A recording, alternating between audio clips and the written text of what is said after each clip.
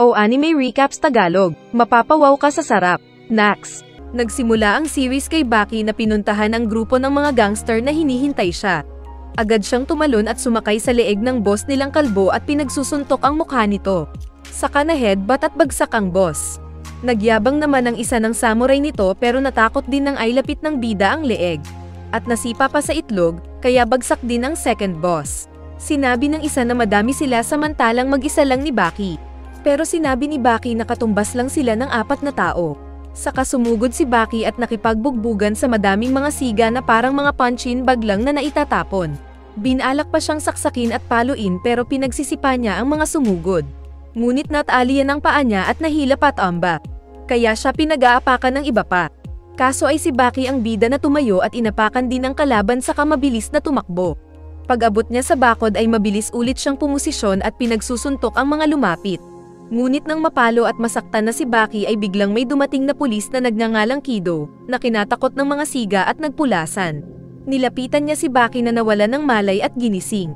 Ngunit pagbangon ni Baki ay nasipa niya si Kido. Kaya nagalit ang kasama nitong pulis pero ayos lang daw kay Kido. Saka itinawag ng isang lalaking nakashade sa boss na babae ang pagkatalo ni Baki. Kaya nadismaya ang babae. Sinamahan ng mga pulis si Baki pa uwi para daw hindi bugbugin ng mga kinalaban. Pagkarating ni Baki sa tahanan ay umalis din ang dalawang pulis. Pero nagulat ang isa dahil 13 years old lang si Baki. Kalaunan ay nagpunta si Baki sa isang gym at sinabihan ng gym instructor kung anong dapat gawin para lumakas. Pero naiinis ang bida na ginawa na lang ang pagpapaganda ng katawan. Pero kalaunan nang muling sabihin ng coach ang next niyang gagawin ay nainis si Baki na sinaktan pa ang coach. Hinawakan siya ng mga nagbabantay pero naitapon din sila. Sinabi ni Baki na sawa na siya sa pagsasanay sa gym ng ganun lang dahil hindi siya lumalakas na kahit isang daang tao lang ay hindi niya matalo. Pinagsasira pa ni Baki ang mga nasa gym at sinigawan ng coach na bahala na siya sa sariling paraan ng pagpapalakas.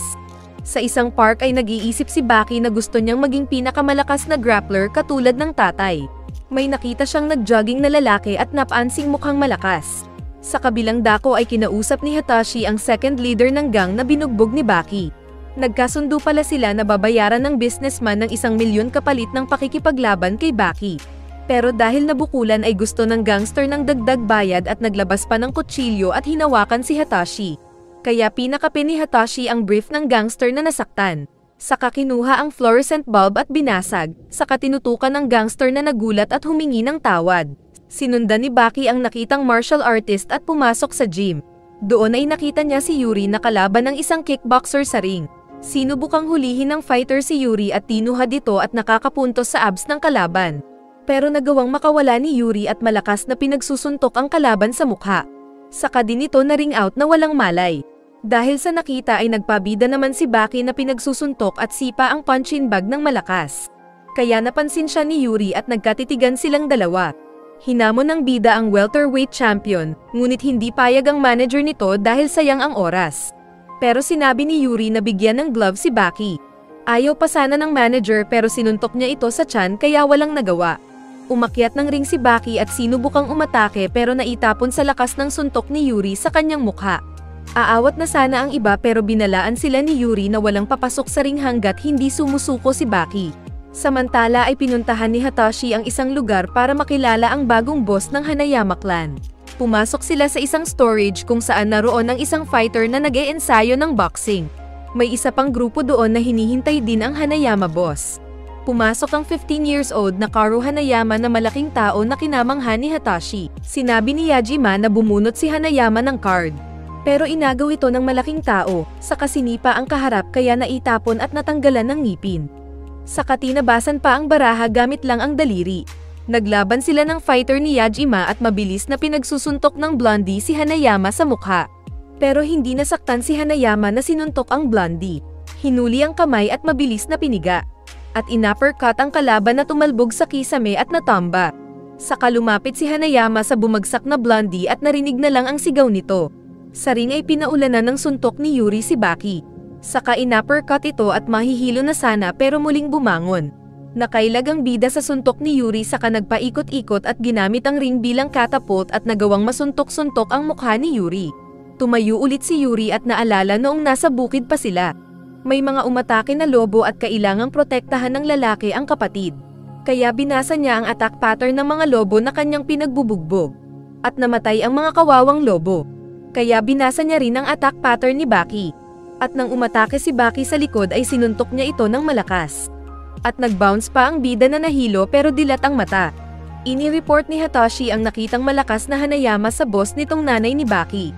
At nais ng nanay na labanan ni Baki si Hanayama. Kaya kinausap ni Hatoshi ang Hanayama Syndicate para labanan ang isang bata na tinalo ang maraming gangster. Tinutukan siya ng tao ni Hanayama at sinabing tumigil na. Pero hinila niya ang kwelyo nito at nilock at ipinagpatuloy ang pagkwento tungkol kay Baki. Naiinis na umalis si Hanayama, pero nang marinig niyang anak ni Yuhiro Hanma ang kakalabanin niya, ay nasira ang hawakan ng pinto sa lakas niya at saka din ito isinara. Pagkagising ni Baki ay naiyak siya nang malamang natalo. Sinubukan siyang makomfort ng lalaking naroon pero sinuntok niya ito at tumakbo palayo. Pag uwi niya ay hinihintay siya ng investigator na adik sa Yossi. Dumating ang isang limousine at lumabas ang nanay ni Baki na sexy, kaya naging matulis ang investigador. Sinabi ni Baki na ayaw na niyang magtrainig sa paraan ng nanay, at bahala na siya sa sariling paraan. Walang ano-ano ay hinalikan ng ina ang anak sa labi. Yaks! Saka agad ding umalis at sinabing magpalakas si Baki gaya ng ama. Nang gabing iyon ay sinamahan ni Kido si Baki na nag-aayos ng pagkain. Samantalang umiinom naman ang matanda na sinabing hindi maintindihan kung bakit palaging seryoso si Baki. Kinabukasan ay naihanda na ng bida ang mga dadalhin sa paglalakbay. Dahil nais niyang muling mag-training na back to zero dahil hindi siya lalakas sa ganong paraan. Saka siya umalis dala ang malaking bag at nag-iwan ng sulat sa tulog pang pulis. Nagpunta ng gubat at nakita siya ni Ando at biniro na kakainin na lang. Pero nagpakilala siyang si Baki. Kaya masaya si Ando na nakita siya. Isang bear ang nanghuli ng isda. At nang may makita itong gumalaw sa kakahuyan ay umatake ito. Ngunit sinuntok lang ang grizzly na namatay. Saka din kinain ng Sasquatch. Naghanda si Ando ng maraming karne na nagpapalaki daw ng katawan at masayang kinain ito. Saka tinawag si Baki sa labas para mag-exercise. At sa isang tirada lang ay nahati ang kahoy. Sinabi ni Ando na ito ang epekto ng pagpapalaki ng katawan. Sinabi ni Baki na gusto niyang magpunta sa gubat ng mag-isa para magsanay. Ayaw sana ni Ando pero buo na ang isip ni Baki. Sinabi din ni Ando ang isang halimaw na nakatira sa gubat na pwedeng kainin si Baki. Nagbigay ng palakol si Ando para armas ni Baki kung sakaling atakehin siya ng Bigfoot. Tinalo daw ng tatay niya noon ang unggoy gamit lang ang lakas. Kaya ma-pride din na sinabi ni Baki na pupunta siya ng gubat ng walang armas. Nagcamping ang bida malapit sa bunganga ng isang kuweba at nagsanay ito na sinisipa ang isang punching bag. Saka din nagbuhat ng barbell. Habang nakatalikod ay binuhat ng Bigfoot ang barbell niya sa isang kamay lang. Kaya natakot si Baki sa nakitang halimaw. Dumating si Ando na tinapunan ng palakol ang likod ng unggoy, pero walang epekto gaano. Kaya ginamit ni Ando ang palakol sa mukha ng unggoy pero ginawa lang itong biscuit ng Bigfoot.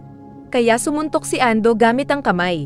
Pero kinagat pa rin ito ng unggoy at parang aso na ginalaw-galaw si Ando. Natamba si Ando na nazugat ang kamao. Umatake si Baki ngunit siya ang na-uppercut na naitapon, ngunit nagising siya nang marinig na nagpapatulong si Ando. Dahil kinalmot ng unggoy ang tiyan niya na nabutasan. Kumuha ng apoy ang bida na tinapon sa likod ng Sasquatch. Saka binuhusan pa ng gasolina kaya nasaktan ang unggoy na tumakbo. Pag uwi nila ay nilagyan ng alak ni Baki ang sugat ni Ando. Pero dahil sa rabies ng mga wild animals ay pinakuha ni Ando ang pulbura sa mga bala ng shotgun. At sinunog ang sugat habang kagat ang isang tuwalya. Kaya nasaktan si Ando. Agad din silang tumawag ng rescue at may dumating na chopper na kinuha si Ando. Nang mag-isa na lang si Baki ay naririnig niya ang ungol ng unggoy kaya natatakot siya kaya kumain siya ng maraming protein para maging mas malaki at mas malakas. Saka din niya ginawa ng pagpalakol na exercise ni Ando. Saka nagpatakbo-takbo sa gubat habang dala ang mabigat na bagay. Dahil sinobra ni Baki ang pag-training ay naabot niya ang higit sa limit ng katawan niya. Kaya nakaramdam siya ng kakaiba na tinawag nilang endorphin. Kaya sa kada training ni Baki na sobra sa kaya ng katawan niya dati, ay nararamdaman niya ang masarap na endorphin experience. Samantala sa city ay naglaban si Yuri at ng isa pang boxer. At walang laban ang kalaban ni Yuri na pinaglalaroan lang niya. At sa isang right counter punch lang ni Yuri ay tulog ang kalaban. Nagmeditate pa raw si Baki para sa final na pampalakas niyang sarili. Nagpunta siya sa mataas na bangin pero natatakot siya. Kaso ay nilabanan niya ang takot at nagpahulog na parang walang utak. At nilabasan na naman siya ng endorphin sa utak. Pero dahil bida ay nakasurvive si Baki ng mahulog sa tubig at walang naputol sa katawan. Dahil nakaligtas lang si Baki sa pagkakahulog ay naisigaw niyang mananalo daw siya sa laban nila ng unggoy. Nagpunta ulit siya sa meeting place nila. At dumating ang umungol na unggoy. Sinunog ni Baki ang nasa paligid na gas at napalibutan sila ng malakas na apoy para walang tumakas. Mabilis na umatake si Baki ng suntok at uppercut sa ulo ng Sasquatch. At pinagsisipapa ito na parang kung fu. Nagdugo ang mata ng unggoy na kanyang tinanggal at kinain. Kaya nayaki si Baki. Inakala ni Baki kung talo na ang kalaban, pero nahuli siya ng lolo nyo ni Charles Darwin saka pinagsusuntok sa mukha. Saka nagtambling-tambling pa ang unggoy na umatake ng kagat at kalmat na naiwasan ng bida. Ngunit nahuli siya ng Sasquatch at kinagat sa balikat. Kaya sinipa-sipa niya ang itlog ng halimaw na nasaktan at tinapon siya palayo. Matapang pa rin na umatake si Baki at pinagsusuntok at sipa ang gitna ng unggoy. Pero hindi ito nasasaktan at si Baki pa ang kinulmat na nasugatan. Naisip ni Baki na hindi pwede sa unggoy ang teknik niyang pangtao. Kaya sinubukan niyang kada suntok at sipa niya ay ubod ng lakas. Kaya natamba ang unggoy na nasaktan. Pamatong pa si Baki sa kaaway at pinagsusuntok ang mukha nito. Samantala ay nakauwi na si Ando na nakita ang bahay at mga pinagkainan ni Baki kaya hindi makapaniwala na kinain lahat ng bida ang pagkain doon. Balik kay Baki ay galit na muling tumayo ang unggoy. Saka muling hinuli ang bida at ibinato ito ng ubod lakas sa lupa. Saka dinaluhong at binangga sa bato. Kaya nasaktan si Baki na mayabang pa rin. Pinulot ng unggoy si Baki sa kahinampas sa lupa. Narinig ni Ando ang sigaw ng halimaw kaya agad na kumuha ng baril at tumakbo sa kinaroroonan ng laban. Sa laban ay muling itinapon-tapon ng unggoy si Baki sa lupa at maging sa kisame. Saka sinubukan pang pabukain ang bunganga ng bida na nasaktan at nag-release ulit ng endorphin. Kaya sinulok niya ang mata ng unggoy na nasaktan. Nagpaputok ng baril si Ando na sinabing siya na ang bahala. Pero sinabi ni Baki na gusto niyang magpatuloy sa laban nila ng halimaw. Sumuntok-suntok ang unggoy na sinangga ng bida. Saka siya naman ang sumunod na sumuntok. Kaya hindi makapaniwala si Ando sa nakikita. Nakasangga si Baki at sumipa. Pero naitapon. Sinundot niya ang tenga ng halimaw na nasaktan. Dahil napaatres ang unggoy ay nagtambling na naman ito at kinonmat si Baki sa dibdib at noo. Ngunit pag-atake ng unggoy ng kagat nito, ay sinabayan ito ni Baki ng suntok sa ngala-ngala. Kaya natamba ang unggoy na natalo. Dahil nanalo ay nagsaya na naman si Baki na sumigaw. Tumayo pa ulit ang unggoy na pinagmasdan siya. Saka din umalis papunta sa pinanggalingan. Kalaunan ay sinabi ni Ando na may ipapagawa siya kay Baki na siya lang ang makakagawa. May binigay si Ando at tinuro ang daan patungo sa tahanan ng unggoy. Kaya pinuntahan ni Baki ang kuweba kung saan nakatira ang unggoy na hindi naman siya sinungitan. Saka ibinalik ang bungo ng asawa ng Bigfoot na kinuha noon ng tatay ni Baki. Agad na inayos ng Sasquatch ang bungo ng asawa. At bilang kapalit ay binigyan si Baki ng piraso ng ngipin nitong natanggal. Kaya nagpasalamat si Baki sa bagong natutunan dahil sa laban nilang iyon. Saka din umalis ang bida ng bundok para umuwi. Pag uwi niya ay sinundo siya agad ng tao ng ina. At nang magkita sila ay hinalikan siya ng ina at ipinakita ang laban ni na Yuri at ng kalaban nito. Nakita ni Baki na medyo bumagal ang suntok ni Yuri. Kalaunan ay sinubukang bayaran ni Hosh ito si Yuri ng isang daang milyon para lang makasparring ulit si Baki. Pero sinabi ng boxer na hindi siya nabibili kundi lumalaban siya dahil sa pride at siya daw ang pinakamalakas na fighter. Saka din umalis. Nagpunta naman ang Men in Black kay Hanayama at kinausap ito para sa laban nila ni Baki. Pero si Yujiro Hanma ang mas gustong makita ni Hanayama. Saka sinabi ng Yakuza na pupuntahan nila si Yuri at maglalaban sila oras na magkita.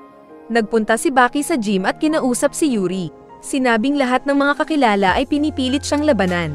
Pero para kay Baki ay hindi maituturing na martial arts ang boxing kundi sports lang dahil kulang ito. Kaya nagulat ang mga naroon at nagalit ang isang kalbo na tinawag si Baki. At ipinakita ang malakas nitong suntok sa water bag na mabigat. Kaya nagpunta din si Baki sa punching bag at napansin ni Yuri ang paglaki ng katawan ng bida. Ginamit naman ni Baki ang lakas ng siko at pinunit ang water bag. Saka sinabing walang ganun ang boxing. At nagulat ang mga manunood. Dumating ang araw ng heavyweight match ni Yuri. At naaalala ni Yuri ang sinabi ni Baki at alam niyang mas nag-training si Baki kaysa kanya. Ngunit paglabas nila sa hallway para magpunta ng stage ay biglang hinawakan ng mga yakuza ang mga kasama ni Yuri. Saka dumating si Hanayama para subukan ang boxer. Sumuntok si Hanayama ngunit mas mabilis si Yuri na pinagsusuntok ang mukha ng malaking tao. Pero hindi nasaktan at nasuntok pa ang nabutasan na pader. Kaya nagulat ang boxer. Hinuli ni Hanayama ang kamay ni Yuri. At buong lakas itong piniga at nasira ang buto ni Yuri. Saka naalala ni Yuri ang sabi ni Baki na kulang ang boxing bilang martial arts. Umatake pa si Yuri pero sinuntok lang ito ni Hanayama at naitapon. At knockout ito sa lupa na tinignan ang papalapit na Hanayama. Tumayo pa si Yuri na pinagtaka ng mga Yakuza dahil unang beses silang makakita ng bumangon na sinuntok ni Hanayama.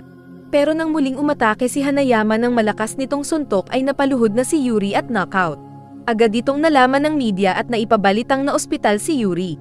Nagtaka si Baki kung anong nangyari, kaya ipinaliwanag ni Hatashi na si Hanayama at Yakuza nito ang mga salarin. Dahil wala silang paki sa mga batas na sinusunod para sa mga laban. Dahil sa narinig ay agad na tumayo si Baki at sinabing aalis na. Pero kilala siya ng ina na excited dahil sa narinig. Narinig na lang ni Hanayama ang kaguluhan sa labas. At nang buksan nila ang pinto ay nakita nila si Baki na hindi mapigilan ng maraming mga gangsters. Saka nagpatalon-talon si Baki sa mga pader at sinipa ang mesa ni Hanayama. Nang tumayo si Hanayama ay mabilis na pinagsisipa ni Baki ang ulo ng malaking tao na nahilo. At nakita ito ng mga tao niya sa unang pagkakataon pero muli itong galit na tumayo. Ngunit dumating ang mga pulis dahil sa nahulog na mesa sa kalsada at naistorbo ang laban sana nila. Saka sinabi ni Baki na sabihan lang siya kung handa na ito sa tunay nilang laban. Paglabas niya ay nakita si Kiragawa, kaya hinitid na siya nito. At sinabing mag-ingat dahil hindi simpleng gangster ang mga kinaaway ni Baki. Samantala ay galit na galit si Hanayama dahil nasaktan ang ego. Kaya pinagsusuntok niya ang isang sasakyan na nasira ang makina. Binaliktad ito gamit ang lakas. At kinuha ang gulong na parang walang hangin. Saka buong lakas na pinutol na parang garter lang. Saka din umalis. Hindi siya mahuli ng pulis dahil alam niyang masisira lang ang handcuffs nito. Samantala ay binabangungot si Yuri sa nangyari, at nakita ulit si Hanayama sa panaginip na muling piniga ang kamay ni Yuri. Nagising siya sa tabi ni Mina na kapatid niya. Dumating ang galit na manager at sinabing nalugi ang investment niya dahil sa pagkasira ng kamay ni Yuri, at hindi pa sa opisyal na laban. Pinagbalingan niya ng galit ang kapatid ni Yuri na sinabing pwedeng gawin na pangbenta. Dumating bigla si Baki at hinawakan ng tenga ng manager sa kasinipa paalis, pero nagbanta na maghihiganti ito. Binisita ni Hanayama ang nanay nitong payat na payat. At naalala noong bata pa siya na naamoy ang pabango na gustong gusto ng ina kaya piniga niya ang bulaklak at kinuha ang katas nito, at pinahid sa mukha ng naging masaya na ina. At paglabas niya ay galit na sinabi sa tao na papatayin si Baki. Lumipas pa ang mga araw at bumalik sa normal routine si Baki sa dating mga ginagawa. Pero nararamdaman niya palagi na binabantayan siya ng Yakuza kaya lagi siyang nakahanda. Sa isang party habang naglalakad si Baki ay bigla siyang inatake ni Hanayama sa likod. Sumangga siya pero naitapon. Muli siyang bumalik para labanan ang malaking tao pero nasmash lang siya ulit ng maraming beses. Kaya natigil ang mga tao at ginawang center of attraction ang laban ng dalawa. Habang binubugbog ni Hanayama si Baki ay sinabi ng tao ni Hanayama na mamamatay na si Baki. Patuloy ang pagsuntok ni Hanayama kay Baki gamit ang isang kamay. Saka ito in-uppercut. Kaya naitapon ng bida malapit sa piano, pero binagsakan pa ito ng speaker. Pero muling pinulot ng malaking tao si Baki at buong lakas na itinapon sa labas ng nabasag na bintana. Inakala ni Hanayama kung patay na si Baki. Ngunit nakita niyang muling umakyat ang bida gamit ang tali. Saka naghubad ng sweater habang tinatawanan si Hanayama. Sumipa si Baki sa ulo ni Hanayama pero hindi nasaktan. Tapos ang braso pa ni Baki ang nasaktan dahil sa paghawak ni Hanayama. Nakatakas ang bida pero nahabol ng malakas na sipa pero bumawi naman ng suntok si Baki sa katawan at ulo ni Hanayama. Nagawa pa nitong matamaan ang makapal na lips ni Hanayama. Saka inakyat ang malaking tao at sinipa sa ulo. At pinagsisipa tulad ng ginawa niya sa malaking gorilya noon. At naitapon pa si Hanayama sa pips ng model na babae sa screen.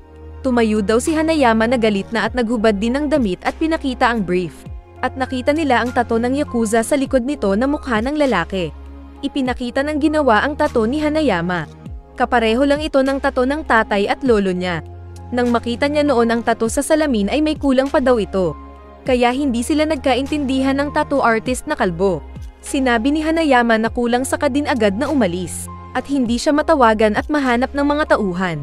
Nagpunta pala ito sa teritoryo ng mga kalaban na pumatay sa kanyang ama. at inatake ang kanilang HQ.